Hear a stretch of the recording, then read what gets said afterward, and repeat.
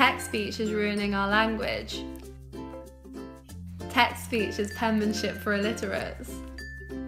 Well, actually, it's not. We don't speak how we write. Our writing is structured. But our speech isn't. It's a bit muddled most of the time.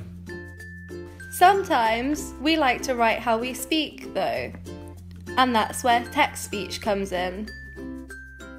It's a language in itself. It's finger speech.